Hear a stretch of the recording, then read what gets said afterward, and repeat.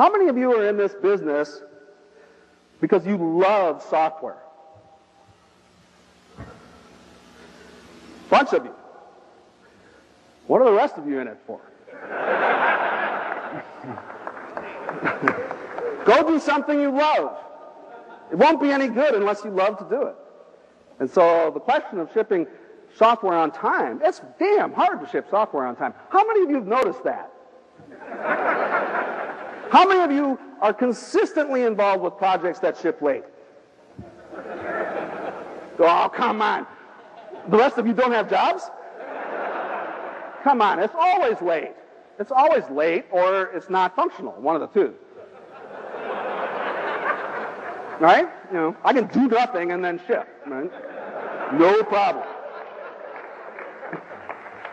That's what the corporate strategy is. Anyway, so I'm going to tell you what we figured out in the Visual C++ group and give you my point of view on it.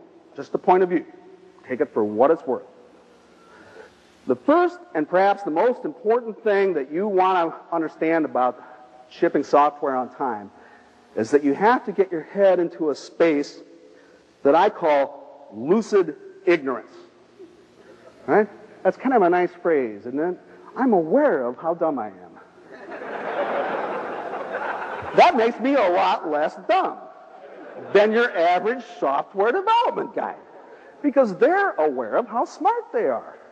And they're, they're sitting there. They have everything lined up. Boy, PERT charts and schedule plan and all uh, little items that say what's going to happen when. They've got it down to half days, and then Joe goes to the bathroom, and then he goes, on, you know. They think they know what this process is all about. And I contend that the very first thing you want to do is articulate that which is unknown. I want to know what's going to get me. The people in my group that are the most scared and the most conscious of all the evil software specters in the universe. Those are the people that get the big bonuses. 4%.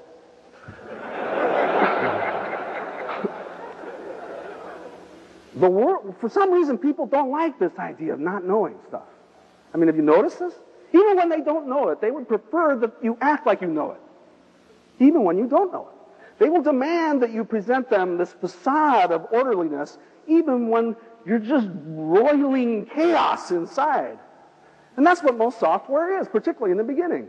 It's very chaotic. You have new technology, all sorts of unknowns. You have a new team, or a team that's just coming off a death march. There's a nice kind of team to have. Right?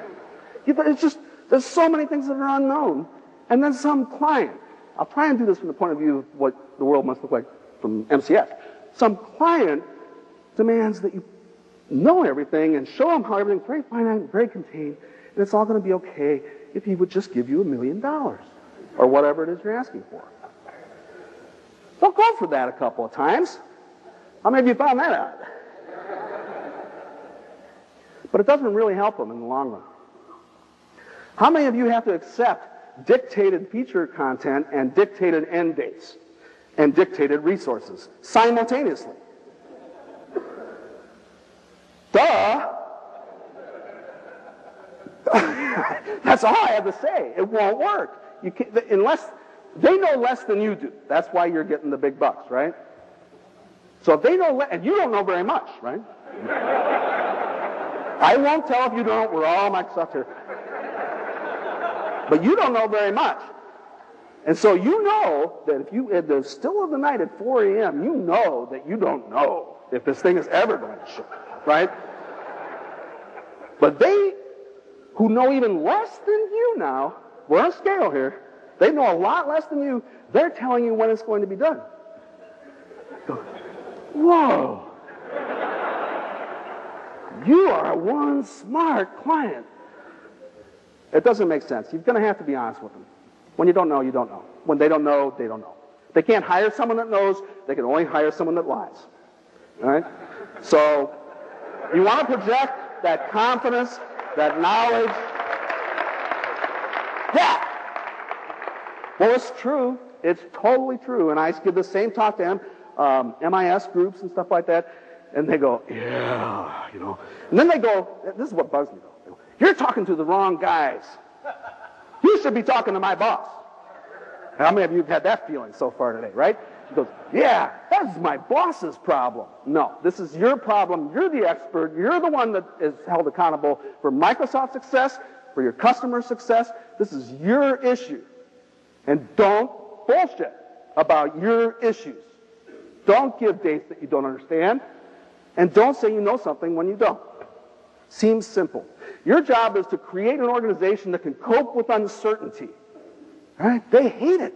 They hate it. It drives them crazy. Human beings want to know what, what all is going to happen next, right? They want to, this is the biggest, our marketing guys, when's it going to ship? Like, I don't know. I go, thanks, I needed that. right? They did need that. It's like, learn how to cope with uncertainty. then it'll all be okay. And as soon as I know, the second I know anything, I'll tell you. And then I'll tell you when, you know, I, as soon as I know what I told you before was wrong. You'll just have to trust me on that one. The organizations you're working with, what's your job? Isn't it to make them stronger, healthier, more alive instead of dead? How many of you walk into dead places every day for your clients? Oh, Bring them to life and start with the facts. Start with the facts.